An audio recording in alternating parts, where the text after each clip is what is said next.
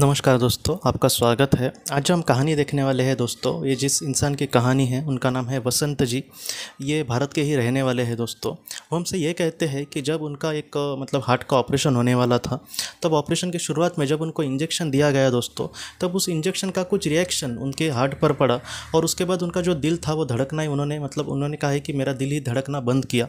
और उसके बाद वो हमसे ये कहते हैं कि उनके शरीर से, उनके आत्मा को मतलब उन्होंने आत्मा को ऊपर ही ऊपर जाते हुए महसूस किया। और बाद में वसंत जी हमसे ये कहते हैं कि उस मतलब उस रूम में कहीं ना कहीं उनकी आत्मा ऊपर है और वहाँ पर उन्होंने अपने बहुत सारे मतलब दोस्तों को और अपने परिजनों को देखा, उनके परिवार वाले के लोगों को। उनमें से जो ज़्यादातर लोग थे वो आज इस दुनिया में नहीं थे। और वसंत जी हमसे ये कहते हैं कि उनकी आँखों में जो मेरे लिए प्यार था वो दिख रहा था। वसंत जी हमसे ये कहते हैं कि परिवार वाले लोग तो मतलब हमारे करीबी कभी कभी होते हैं, लेकिन मेरे दोस्त भी मुझे कितना प्यार करते थे। हम कभी कभी बातें बोलकर नहीं दिखाए थे, लेकिन फिर भी उनके मन में मेरे लिए कितना प्यार था। ये सारी चीज़ें मैं वहाँ पर बहुत ही अच्छे से महसूस कर सकता था। और बाद में उनके मतलब परिजनों ने कहा कि तुम्हें फिर से पृथ्वी पर जाना होगा। मतलब फिर से तुम्हें इस मतलब शरीर में जाना होगा क्योंकि तुम्हारा जो जीवन कर्तव्य है वो बाकी है। वसंत जी हमसे यह कहते हैं कि मुझे सच में दिल से ज़रा भी इच्छा नहीं थी वापस आने की, लेकिन फिर भी उन्होंने कहा कि हाँ ठीक है, इसके पीछे भी कुछ कारण होगा। ये जो सारी चीज़ें हैं, अब मुझे पता नहीं, लेकिन कल मुझे मतलब सारी चीज़ें ज़रूर पता चलेंगी। और बाद में वो ये कहते हैं कि मैं फिर से अपने शरीर पर लौट आया। उनको जब होश आया दोस्तों, तब उनका ऑपरेशन हो चुका था और वो बहुत ही अच्छे से हो सका, हो चुका था।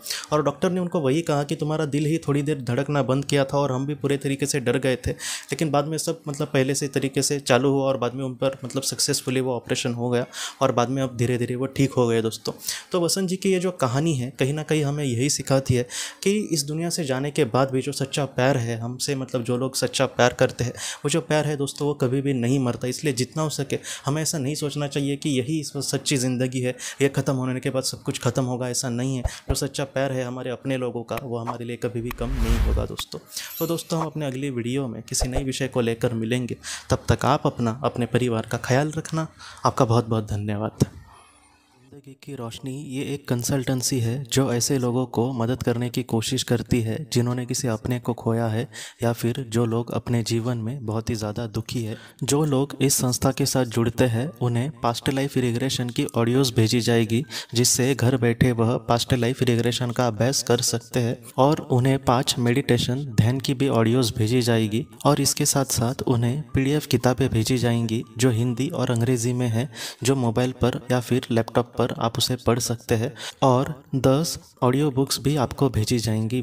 तो दोस्तों, अगर आप इस संस्था के साथ जुड़ना चाहते हैं तो कृपया इस नंबर पर व्हाट्सअप मैसेज करें। आपका बहुत बहुत धन्यवाद।